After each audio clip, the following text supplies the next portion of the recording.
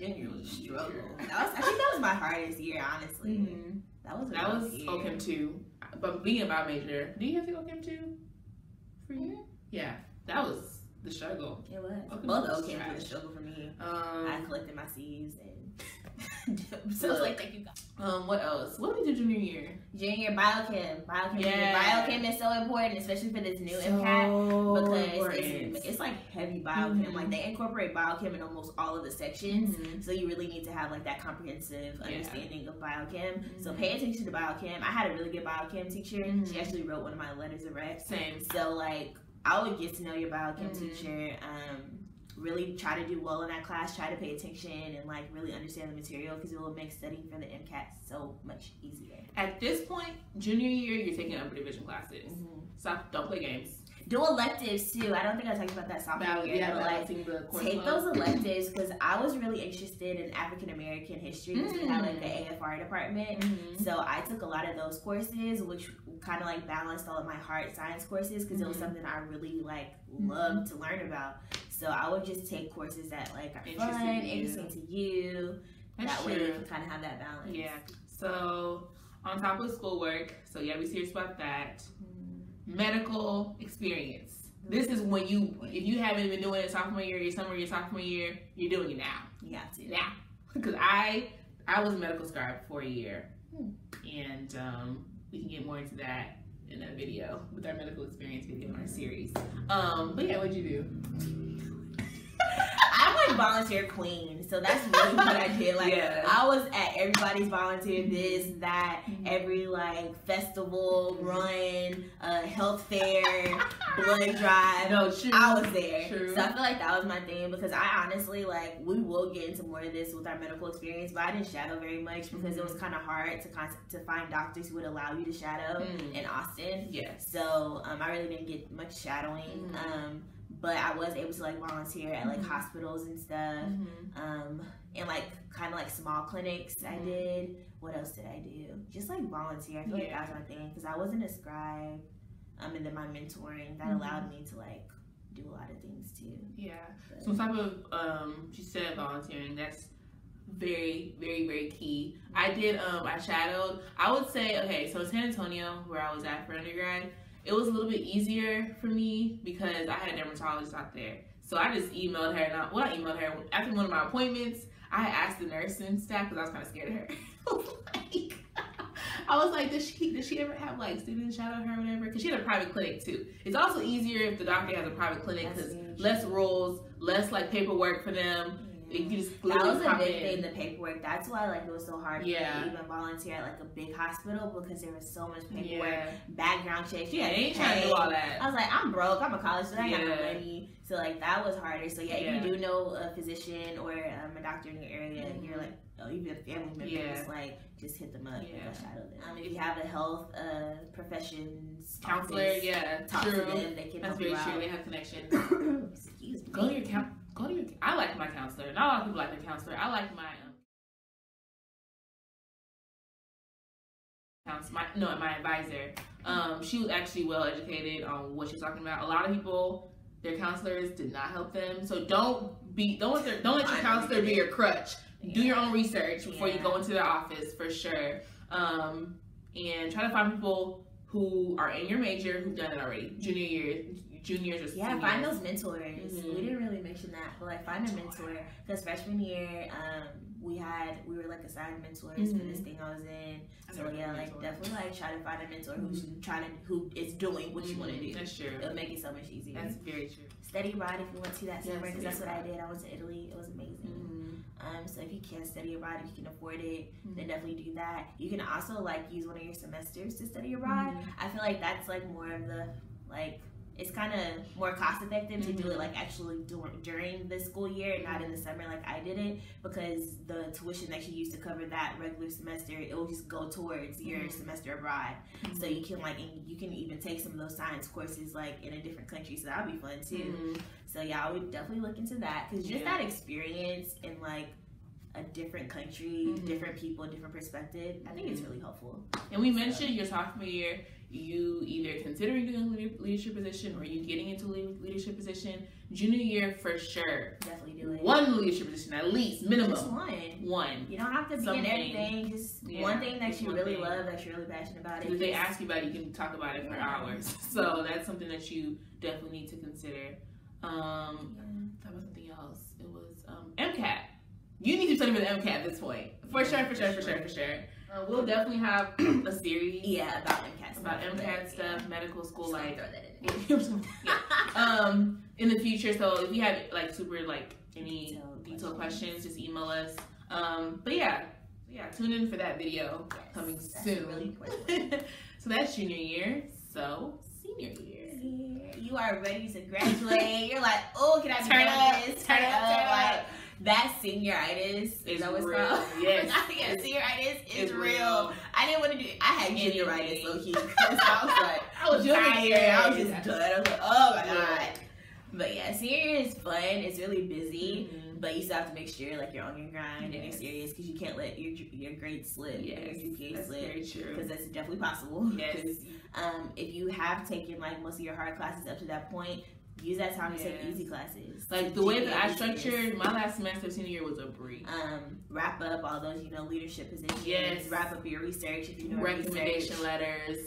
Yeah, seek those. You should be starting to seek those very, very yeah. early. We'll talk, of course, more about that Mhm. in like our application Yes. video, our series. Mhm. But yeah, so start doing that.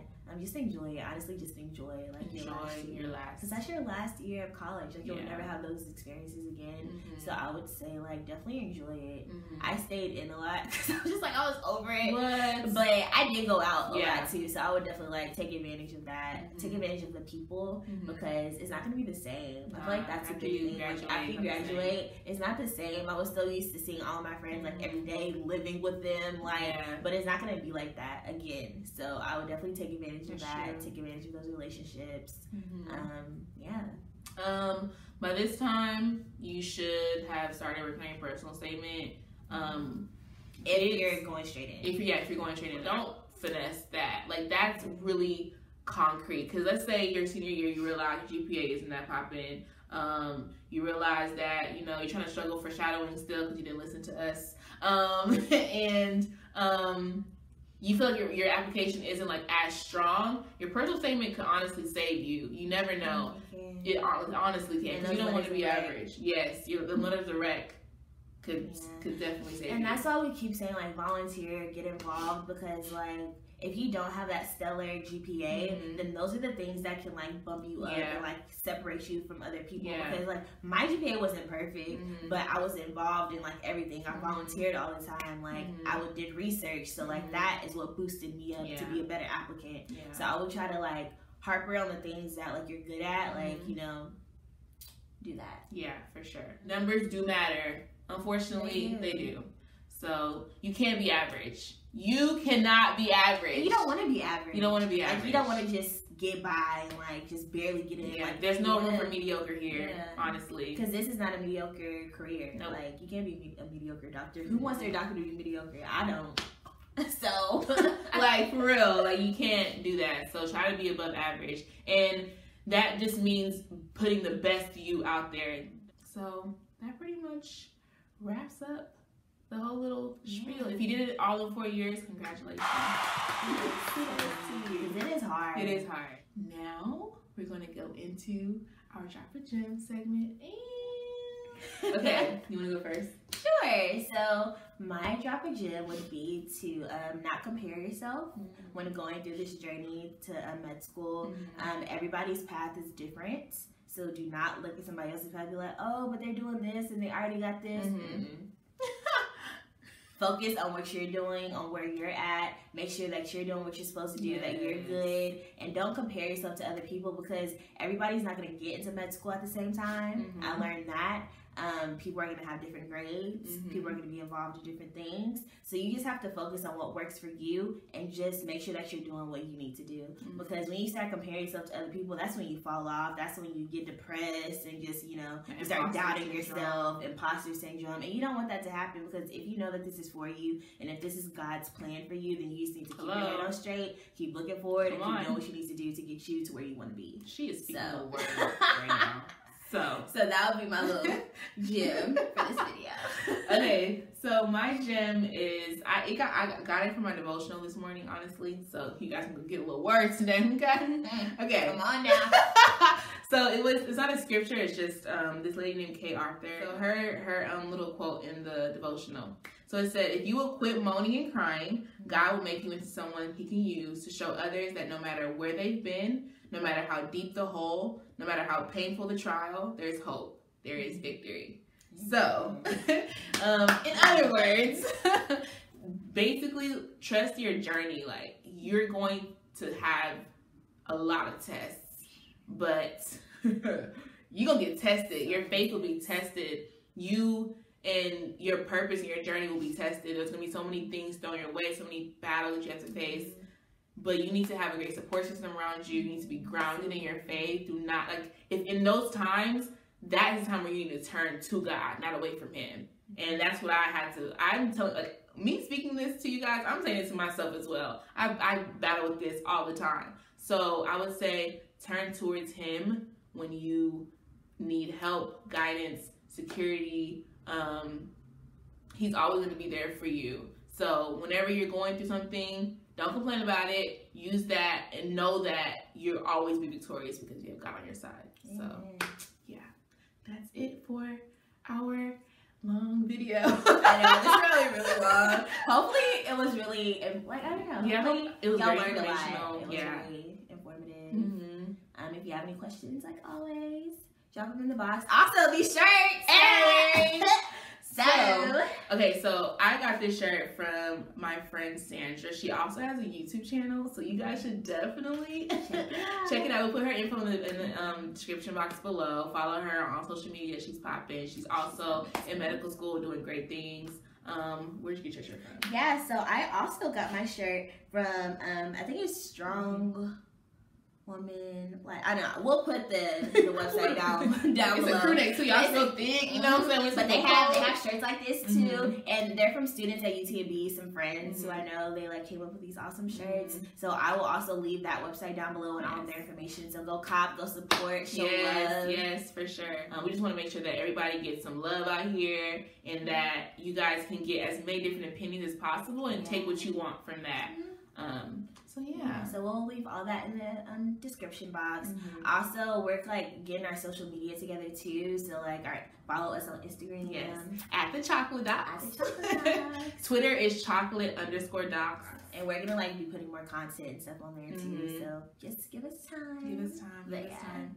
Um, what else? Email us at the chocolate docs. If you have any questions um, about at gmail.com. anything, Anything. anything, Media advice, all those things. We will get back to you as soon as we possibly can.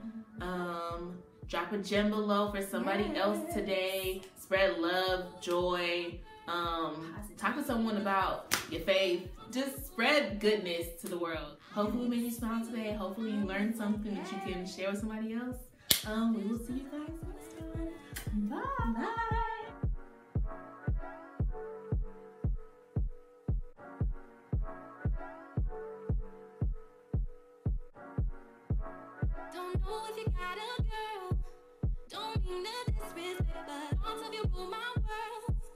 I even dream of you, I swear.